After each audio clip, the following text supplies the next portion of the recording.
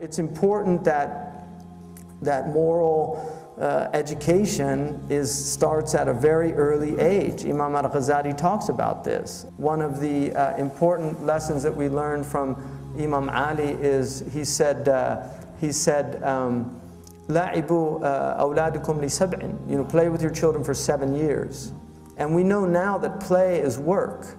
You know, uh, Piaget and others, I mean, I'm not a big fan of Piaget, but uh, Piaget did have some pretty profound insights about certain things. And one of them was that the play of children is work, that what they're doing is very important. One of the things that they found in the West is that many uh, serial killers, many sociopathic people were people that their parents did not allow them to play when they were children.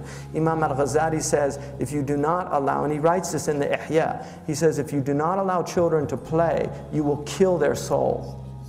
And so it's very important that for those first seven years in particular, there is a lot of playtime and activity. That's what they should be doing. There should be very little instruction or education at that time. Another important thing that a lot of people uh, don't understand, especially parents, but teachers also, is that children before seven have no concept of, of lying. A, a child can say whatever it wants because it's still in the imaginative world. So if a child breaks something and you say, Who broke that? The child says, I don't know.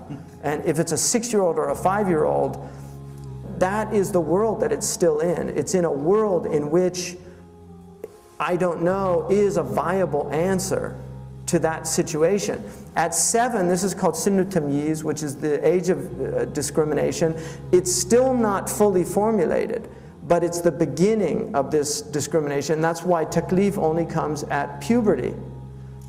It, it, not before that. Children are not held accountable before that for that very reason. So it's very important to, to recognize that in this early period, a lot of play activity. I mean, the Montessori idea of a lot of sensory stimulation is, is completely consistent with much of what we're learning now. I mean, there's incredible strides have been made in, in the last 20 years in, in the study of the brain, in neurology. I mean, things, things that we're finding out about uh, the idea of a lot of, of positive sensory stimulation, there's a lot of negative sensory stimulation going on there as well. Television, uh, these, these uh, games that children are playing, uh, you're going to create uneducable children uh, if, if they indulge in these things. The, the, you know, putting them into these hyperactive states, they wonder where attention deficit disorder is. Most child, uh, children television programming is speeded up because what they found in early studies back in the 50s, and you can find this in a book called The Evil Eye, they found that children, if you put them in front of television in real time,